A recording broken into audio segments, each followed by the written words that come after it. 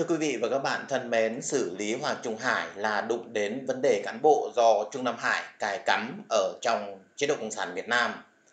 Sau khi có tin Bí thư Hà Nội cựu Phó Thủ tướng Hoàng Trung Hải bị xem xét để kỷ luật, một nhà quan sát kỳ cựu đưa ra nhận định việc kỷ luật ông Hoàng Trung Hải là đụng đến yếu tố Trung Quốc. Bí thư Thành ủy Hà Nội Hoàng Trung Hải có những vi phạm trong thời làm ủy viên cán sự đảng Phó Thủ tướng Chính phủ khi chỉ đạo xem xét nâng vốn của công ty gang thép Thái Nguyên 2, Tisco 2. Những vi phạm này cần phải xem xét kỷ luật. Đây là kết luận của Ủy ban Kiểm tra Trung ương Đảng Cộng sản Việt Nam đưa ra tại kỳ họp thứ 41 từ ngày 4 đến 6 tháng 12 vừa qua và được truyền thông trong nước loan tin vào ngày 9 tháng 12.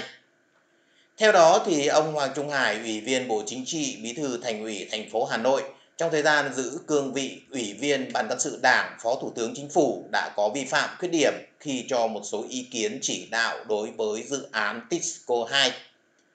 Ông Hải làm Phó Thủ tướng phụ trách kinh tế ngành từ tháng 8 năm 2007 đến tháng 4 năm 2016 Việc ông Hải đương kim bí thư thành ủy thành phố Hà Nội bất ngờ bị lật lại sai phạm thời còn làm phó thủ tướng từ hơn 3 năm trước, làm dấy lên các suy đoán rằng ông này có kết cục tương tự như cựu bí thư thành ủy thành phố Hồ Chí Minh Đinh La Thăng người đang thụ án tổng cộng 30 năm tù vì những sai phạm thời ông làm lãnh đạo tập đoàn dầu khí Việt Nam PVN.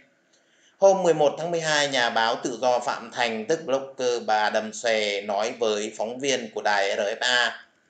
Trước hết tôi thấy một sự khác biệt ông Đinh La Thăng dưới sự quan điểm của tôi. Ông ấy có tinh thần chống sự ảnh hưởng của Trung Cộng đối với vấn đề Việt Nam nói chung. Còn Hoàng Trung Hải là tay trong, là tay sai của Tàu Cộng, được cài cắm vào trong lãnh đạo của Việt Nam có mục đích phá hoại kinh tế Việt Nam và bằng mọi cách làm suy yếu nước Việt Nam để Việt Nam càng ngày càng phụ thuộc vào tàu công. Còn sự giống nhau thì họ đều là hai quan chức cộng sản, họ làm gì thì đều theo chủ trương đường lối của đảng hết. Và họ là những người nằm trong tổ chức mà với tôi bây giờ thấy là tổ chức này không có mục đích kiến tạo cho Việt Nam ngày một phát triển về kinh tế cũng như về tiến bộ xã hội. Cựu nhà báo từng công tác tại Đài Tiếng Nói Việt Nam và là tác giả cuốn sách Nguyễn Phú Trọng Thế Thiên Hành Đạo hay Đại Nghịch Bất Đạo.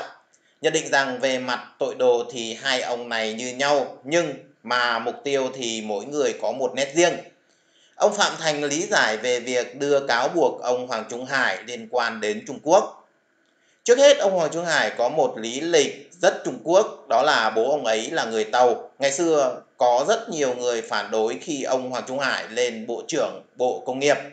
Khi đó, rất nhiều cựu chiến binh tố cáo ông Hoàng Trung Hải là nhân thân của ông ta là người Tàu, khi chết chôn ở tỉnh Thái Bình. Hai là các bộ cao cấp thời đó phản đối, nhưng ông Hải được nâng đỡ của Nông Đức Mạnh nên vẫn giữ được chức bộ trưởng Tôi nắm được tư liệu này vì khi ấy tôi làm ở Đài Tiếng Nói Việt Nam, một trợ lý của ông Đỗ Đức Mạnh đã mang tài liệu đó đến cho tôi, cũng như nhiều nhà báo khác của Đài Tiếng Nói Việt Nam.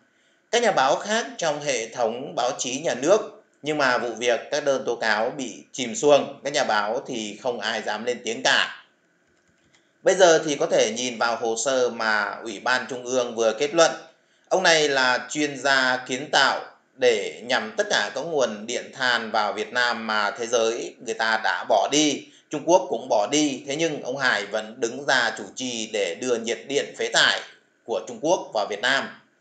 Ông Phạm Thành nhắc lại hậu quả các báo nhà nước Việt Nam thường bình luận rằng dự án gang thép Thái Nguyên đã có trên 8.100 tỷ đồng đầu tư mấy chục năm nay, cuối cùng thành bãi rác thải và rất nhiều dự án nhiệt điện khác do ông Hoàng Trung Hải, khi còn là cương vị Phó Thủ tướng, đưa về.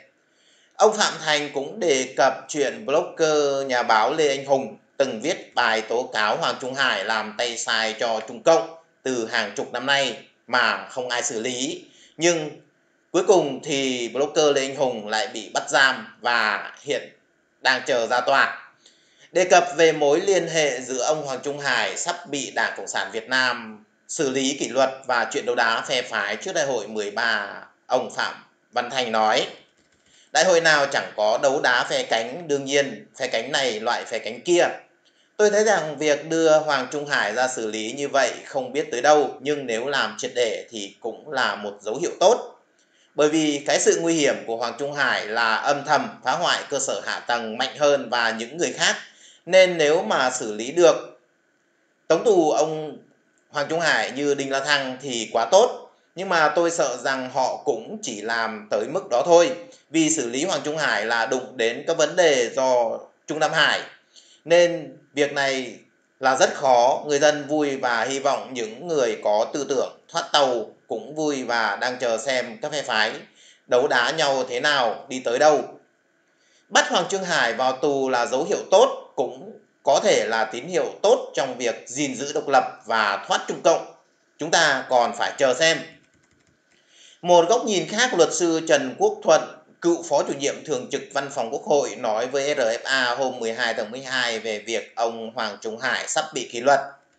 Cái thứ nhất là việc chống tham nhũng không có vùng cấm.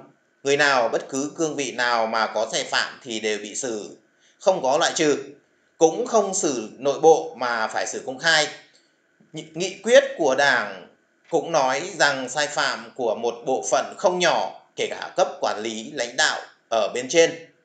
Cái thứ hai mà việc ông Hoàng Trung Hải đã nghỉ rồi, tức là cái việc xảy ra cách đây 3-4 năm thì đã có tiền lệ rồi. Xử một số ông bộ trưởng rồi xử ông Đinh La Thăng cũng nguyên là bộ chính trị. Cho nên cái này không có gì mới. Về ông Đinh La Thăng thì có khác một chút là khi Ban chấp hành Trung ương đã cách chức ra khỏi Bộ Chính trị rồi, sau đó thì mới khởi tố. Còn bây giờ Hoàng Trung Hải đương là Bộ Chính trị đương chức bị đề nghị kỷ luật. Gần đây có những văn bản quy định pháp luật trong nội bộ mà tôi cũng không nắm được. Thường thì những người đương là Bộ Chính trị mà việc xử lý kỷ luật là của Ban chấp hành Trung ương. Còn bây giờ Ban chấp hành Trung ương đã ủy quyền cho Bộ Chính trị thì cái đó có một số văn bản không công khai thì tôi không nắm được.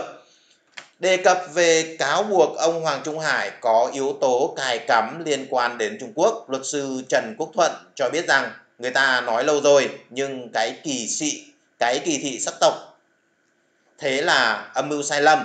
Ông giải thích, bố của ông Hoàng Trung Hải là người Việt gốc Hoa tham gia kháng chiến thời chống Pháp sau thì ông ấy lại tiếp tục tham gia cách mạng hoạt động rồi trưởng thành như thế thì cũng là bình thường, chứ không phải là người mới tinh hay là người hoa mới nhập tịch Việt Nam. Đó là câu chuyện khác tôi có nghe bố ông Hải là thiếu tướng. Sau đó ông Hoàng Trung Hải là con rồi trưởng thành lên. Cho nên nếu nói vậy là nói về cạnh cài cắm là hơi quá không bàn luận sâu về mối liên quan vụ việc của ông Hoàng Trung Hải và đấu đá phe cánh trước Đại hội 13, nhưng luật sư Trần Quốc Thuận nói rằng thực tế là có hiện tượng như thế, nhưng có sai phạm và có chứng cứ rõ ràng thì mới xử lý được. Như vậy phải chăng là có phe chống tiêu cực và phe tiêu cực và cũng có thể là câu chuyện ấy nhưng đâu phải là do mình dựng lên mà muốn xử ai cũng được. Trong cùng vụ việc Tisco 2, các ông Văn Trọng Lý, Nguyễn Hữu Vũ cũng là nguyên phó chủ nhiệm văn phòng chính phủ. Ông Nguyễn Văn Tài, nguyên phó vụ trưởng vụ kinh tế ngành. Ông Đỗ Cảnh Dương, tổng cục trưởng Tổng cục Địa chất và khoáng sản, Bộ Tài nguyên và Môi trường, nguyên là cán bộ văn phòng chính phủ có vi phạm khuyết điểm trong tham mưu lãnh đạo chính phủ cho ý kiến chỉ đạo đối với dự án Tisco 2.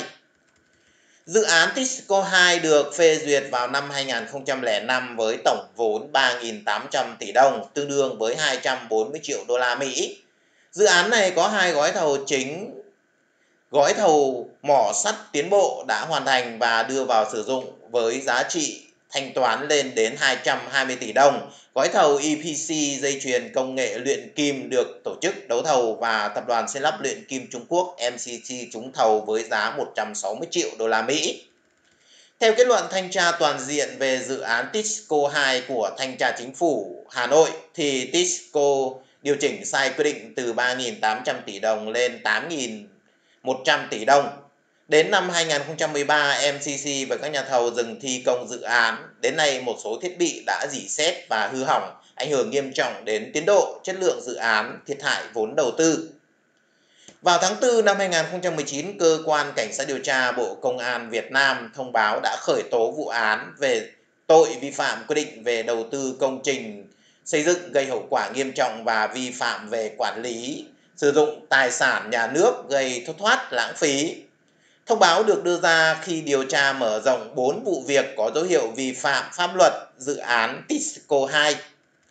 Dự án mở rộng giai đoạn 2 nhà máy gang thép Thái Nguyên là một trong 12 đại dự án ngàn tỷ bị cho là yếu kém của ngành công thương Việt Nam đến nay vẫn chưa giải quyết. Trong mấy năm qua, sân khấu chính trị Việt Nam vừa được Đảng Cộng sản Việt Nam đưa ra trình diễn một vở tấu hò hài mới.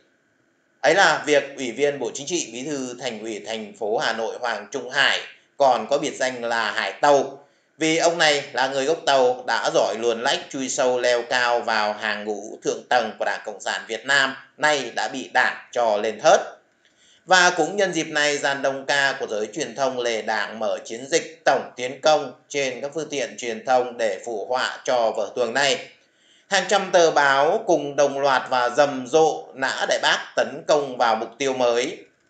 Tờ Tuổi Trẻ ngày 9 tháng 12 năm 2019 có bài vi phạm của ông Hoàng Trung Hải đến mức phải xem xét kỷ luật. Theo đó, Ủy viên Bộ Chính trị Bí thư Thành ủy thành phố Hà Nội Hoàng Trung Hải khi còn là Phó Thủ tướng đã vi phạm khuyết điểm khi cho một số ý kiến chỉ đạo đối với dự án mở rộng sản xuất giai đoạn 2 công ty gang thép Thái Nguyên, dự án được viết tắt là TISCO 2. Tờ Thanh niên ra ngày 10 tháng 12 năm 2019 có bài phân tích sâu hơn về những sai phạm của ông Hoàng Trung Hải đối với dự án TISCO 2 với tựa đề Ông Hoàng Trung Hải liên quan gì đến đại án đội vốn thua lỗ. Theo đó, ông Hoàng Trung Hải, bí thư thành ủy thành phố Hà Nội trong thời gian giữ cương vị ủy viên Ban cán sự Đảng, Phó Thủ tướng Chính phủ đã có vi phạm khuyết điểm khi cho một số ý kiến chỉ đạo đối với dự án TISCO 2. Dự án mở rộng sản xuất giai đoạn 2 của công ty cổ phần gang thép Thái Nguyên TISCO 2 là một trong 12 đại dự án thua lỗ nhiều năm có liên quan trách nhiệm của ông Hoàng Trung Hải, nguyên Phó Thủ tướng hiện là Bí thư Thành ủy thành phố Hà Nội. Qua đợt tổng tấn công vào nhân vật Hoàng Trung Hải lần này có thể thấy được những thành tích vẻ vang của Hoàng Trung Hải trong việc góp phần làm tan hoang nền kinh tế đất nước, làm thất thoát hơn 8.000 tỷ tiền thuế, làm một hồi sừng máu và nước mắt của người dân. Bất chấp phản đối của các bộ liên quan nhưng vẫn cho phép dự án nhà máy gang thép Thái Nguyên tăng vốn đầu tư lên gấp đôi. Bất chấp nhà thầu và các nhà cung cấp thiết bị của Trung Quốc làm không đúng tiến độ và cung cấp thiết bị kém chất lượng vẫn thanh toán mau lẹ và gần hết tiền cho họ để họ ung dung chạy lang. Bất chấp nhà máy tương lai có nguy cơ thất bại, không có phương án cứu vãn như bán lại cho tư nhân giảm bớt thiệt hại mà chấp nhận để chúng thành một đống sắt vụn. Điều lạ lùng là những sai phạm của Hoàng Trung Hải không phải ở nhiệm kỳ này mà là từ nhiệm kỳ trước khi Hoàng Trung Hải còn là Phó Thủ tướng Chính phủ thời của Nguyễn Tân Dũng còn làm Thủ tướng. Vậy mà qua bao năm trời Hoàng Trung Hải vẫn không hề bị đụng đến cái lông chân.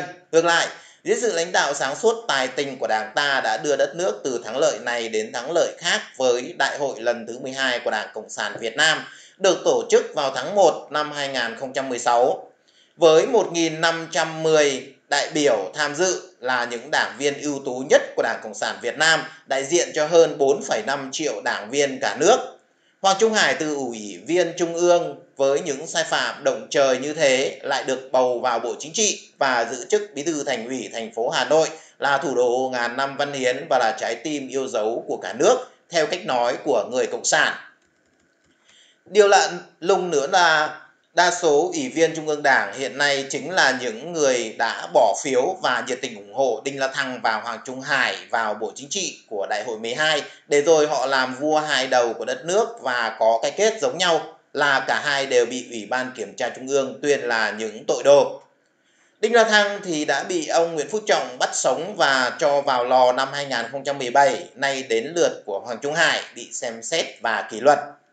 Chúng ta đều biết từ thời của Nguyễn Tân Dũng còn là thủ tướng với cánh tay đắc lực của Bộ trưởng Công Thương Vũ Huy Hoàng và đồng bọn đã thao túng và đục khoét vô tội vạ ngân quỹ quốc gia đã để lại di sản khổng lồ là 12 đại dự án thua lỗ 58.000 tỷ làm khánh kiệt đất nước bao gồm Thứ nhất, nhà máy sản xuất sơ sợi Đình Vũ. Thứ hai, nhà máy bột giấy Phương Nam. Thứ ba, nhà máy đạm Ninh Bình. Thứ tư, nhà máy đạm Hà Bắc. Thứ năm, nhà máy đạm DAP2 Lào Cai. Nhà máy thứ sáu là nhà máy DAP1 Hải Phòng. Thứ bảy là nhà máy ethanol Bình Phước. Thứ tám là nhà máy ethanol Phú Thọ. Thứ 9 là nhà máy đóng tàu Dung Quất, thứ 10 là nhà máy gang thép Lào Cai, thứ 11 là nhà máy gang thép Thái Nguyên giai đoạn 2 Tisco 2 và thứ 12 là nhà máy nhiên liệu sinh học bio ethanol Dung Quất. Tisco 2 là dự án đầu tư mở rộng sản xuất giai đoạn 2 công ty cổ phần gang thép Thái Nguyên đã chết từ năm 2013, nay chỉ còn là một đống sắt vụn khổng lồ chưa chôn. Nhưng tại sao đến bây giờ Ủy ban Kiểm tra của Ban chấp hành Trung ương Đảng Cộng sản Việt Nam mới xem xét trách nhiệm của ông Hoàng Trung Hải? Đến hẹn lại lên đại hội lần thứ 13 của Đảng Cộng sản Việt Nam sẽ diễn ra vào đầu quý 1 năm 2021. Trong lịch sử vẻ vang mấy chục năm tồn tại của Đảng Cộng sản Việt Nam, quá trình tranh giành quyền lực thường diễn ra hết sức khốc liệt, nhất là trước mỗi kỳ đại hội đảng những mưu hèn kế bẩn để triệt hạ đối thủ càng lúc càng được phát huy và áp dụng và triệt đề. Nhưng vì là nhà nước độc tài không có tự do báo chí nên những sự việc thanh trừng và tiêu diệt đồng chí ấy đều được bưng bít bao che.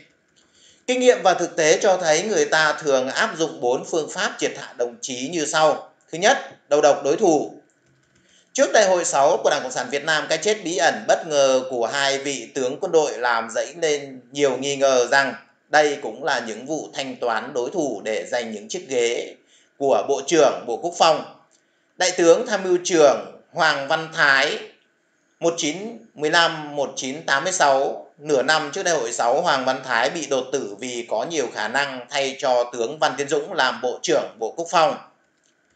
Đại tướng Lê Trọng Tấn 1914-1986 ứng viên sáng giá cho chức Bộ trưởng Quốc phòng tại Đại hội 6 ngày 5 tháng 12 năm 1986. Ông mất ngay trước ngày họp chủ bị Đại hội 6. Người được hưởng lợi hai chiếc ghế của hai kẻ đã chết. Hai vị đại tướng này là tướng trột Lê Đức Anh. Từ một tay cai phu đồn điền luồn lách và leo mãi lên làm Bộ trưởng Bộ Quốc phòng tại Đại hội 6 và sau đó là Chủ tịch nước Nạn nhân của Đại hội Đảng lần thứ 8 là Nguyễn Đình Tứ. Trong phiên họp chủ bị 27 tháng 6 năm 1996, ông Tứ được bầu vào Bộ Chính trị. Ngày 28 tháng 6 năm 1996, đại hội chính thức khai mạc thì tối ngày 28 tháng 6 lúc 20 giờ ông chết. Ngày 30 tháng 6 ông vẫn được đại hội chính thức bầu vào Bộ Chính trị, sau đó mới phát tang. Vì thế mới có dư luận đại hội 8 bầu cả người đã chết vào Bộ Chính trị. Khi ông Võ Nguyên Giáp đến thăm gia đình sau cái chết của Nguyễn Đình Tứ, ông đã mắng vợ của ông Tứ. Cô là bác sĩ mà sao dốt thế, không biết bảo vệ chồng. Nếu tôi để người ta đưa đi kiểm tra sức khỏe thì tôi đã chết từ lâu rồi. Chả là sau bữa cơm tối người ta đem xe đến nhà ông và bảo ông Tứ đi kiểm tra sức khỏe và ông đã chết đột ngột tại bệnh viện. Theo hồi ký lời ai điếu của nhà báo Lê Phú Khải, cái chết của Thượng tướng Thứ trưởng Bộ Công an Phạm Quý Ngọ năm 1000 năm xin lỗi năm 2014 được cho là rất đúng quy trình vì ông Ngọ đã khai ra nhiều nhân vật cộng cán trong Bộ Công an nhận hối lộ liên quan đến vụ đại án Vinalize. Thời đó trong dân gian có câu ca rằng tin đâu như xét đánh ngang thượng tướng đang sống chuyển sang từ chân bạn bè đồng chí mừng thầm anh đi như dứa nhiều thằng yên thân sau này những cái chết của Nguyễn Bá Thanh, trưởng ban nội chính Trung ương, Chủ tịch nước Trần Đại Quang cũng rất đúng quy trình. Ngày 7 tháng 8 năm 2016, chỉ sau 3 tháng nhậm chức tư lệnh quân khu 2, ủy viên Trung ương Đảng, Thiếu tướng quân đội Lê Xuân Duy đã đột ngột qua đời ở tuổi 54. Báo chí nhà nước đưa tin tướng Duy từ trần do lâm bệnh hiểm nghèo. Và cách thứ hai đó là tai nạn Năm 2005, chiếc máy bay trực thăng chở Trung tướng Trương Đình Thanh, tư lệnh quân khu 4, Thiếu tướng Nguyễn Bá Tuấn, Phó tư lệnh tham mưu trưởng quân đội quân khu 4, cùng với 15 người trên máy bay đều tử nạn đầy nghi ngờ tại đảo Hòn Mê ở Thanh Hóa. Gần đây nhất là vụ tai nạn bất ngờ dẫn đến cái chết của ông Lê Hải An được cho là ngã từ lầu 8 trụ sở Bộ Giáo dục và Đào tạo.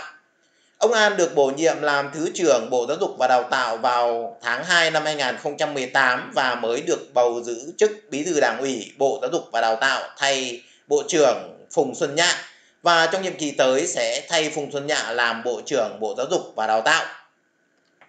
Và cách tiêu diệt thứ ba đó là ngụy tạo chứng cứ nếu không có cơ hội để đầu độc đối thủ thì người ta sẽ ngụy tạo những chứng cớ để tiêu diệt lẫn nhau. Nổi bật nhất là vụ xét lại chống đảng năm 1967, khoảng 300 người bị bắt trong đó có 30 nhân vật cao cấp.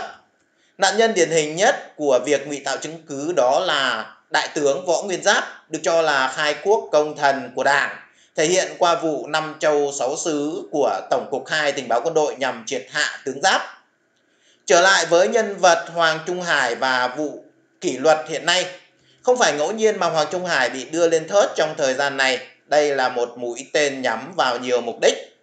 Hiện nay trong nội bộ của Đảng Cộng sản Việt Nam đang diễn ra cuộc cạnh tranh quyết liệt cho chức Tổng Bí thư chủ thủ, tướng Chính phủ trong nhiệm kỳ tới. Nguyễn Phú Trọng tuy danh chưa liệt nhưng thân thì đã bại, có lẽ sẽ hết vai trò lịch sử trong nhiệm kỳ tới. Ứng viên sáng giá cho chức Tổng Bí thư là Trần Quốc Vượng, Thường trực Ban Bí thư và Thủ tướng Nguyễn Xuân Phúc. Vì trưởng ban tổ chức Trung ương Phạm Minh Chính đã bị các đồng chí của mình cho ngã ngựa qua vụ chùa Ba Vàng, nơi được cho là chính góp vốn 100 tỷ, nhưng đã để cho trụ trì Thích Trúc Thái Minh lộng hành bằng các thủ đoạn buôn thần bán thánh qua hình thức giải vong, trục vong và giải oan giao trái chủ những hoạt động này đều trái với giáo lý nhà Phật. Phe nghệ tĩnh là lực lượng mạnh nhất trong ban chấp hành trung ương hiện nay so với các địa phương khác lại được sự hợp tác đắc lực của cựu chủ tịch nước Trương Tấn Sang vì Tư Sang vốn gốc Đức Thọ Hà Tĩnh. Phe này đang muốn đưa Vương Đình Huệ làm thủ tướng thay cho Phúc Niệm. Muốn vậy, phải đưa Phúc Niệm lên Tổng Bí thư hoặc Chủ tịch nước Hai chức này lâu nay Hoàng Trung Hải đang là ứng viên sáng giá nhất. Bên cạnh đó, đánh vào Hoàng Trung Hải lần này cũng hợp ý của ông Trọng vì sẽ làm bật thêm những sai phạm của cựu Bộ trưởng Công Thương Vũ Huy Hoàng là một trong những tay chân đắc lực nhất của Ba Dũng, chỉ sau Đinh La Thăng mà thôi. Ông Trọng tuy đã lột hết áo của Vũ Huy Hoàng nhưng chưa tống cổ được Vũ Huy Hoàng theo chân của Đinh La Thăng vào lò thì ăn chưa ngon, ngủ chưa yên nếu Vũ Huy Hoàng được đưa lên bàn mổ lần này thì sẽ làm lung lay tận gốc rễ của Ba Dũng và cũng dễ dàng để bắt Nguyễn Tân Dũng vào tù, kẻ không đội trời chung với Nguyễn Phú Trọng. Nếu đánh đổ được Ba Dũng như mong muốn của ông Trọng thì Tư Sang cũng rất hả hề đã trả được mối thù xưa. Vì Ba Dũng là đối thủ nặng ký tranh giành chức Tổng Bí thư tại Đại hội 11 năm 2011 với Tư Sang. Lúc đó Tư Sang đang là thường trực Ban Bí thư, Ba Dũng là đương kim thủ tướng. Cuộc đấu đá này cả hai đều thua và ngư ông đắc lợi chính là Chủ tịch Quốc hội Nguyễn Phú Trọng, kẻ yếu thế nhất trong cuộc đấu tay ba. Nhưng vì để ổn định tình hình và giữ gìn sự đoàn kết trong đảng, nên ông Trọng được chọn làm Tổng Bí thư.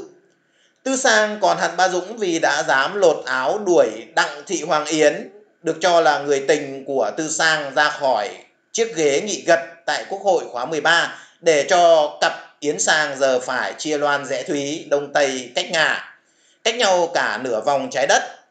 Mặt khác đánh vào Hoàng Trung Hải cũng là cách gửi cho những ông chủ Trung Nam Hải một thông điệp rằng những tên nằm vùng như Trung Nam Hải như Hoàng Trung Hải còn bị lên thớt thì các ông chủ Trung Nam Hải đừng có mà o ép đàn em quá đáng, để nó phải dẫn tới hành động chó cùn cắn rậu mùng tơi.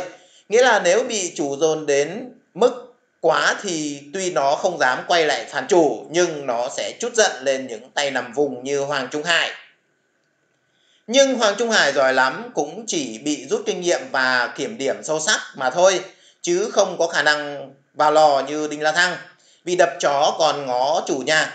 Cái chính là loại Hoàng Trung Hải ra khỏi ứng viên trong tứ trụ tại nhiệm kỳ tới, dọn đường cho những người của các phe nhóm đang gầm ghe, trực chờ tung ra những đòn hiểm mới. Từ nay đến ngày khai mạc Đại hội 13 của Đảng Cộng sản Việt Nam dự kiến sẽ diễn ra vào đầu quý 1 năm 2021.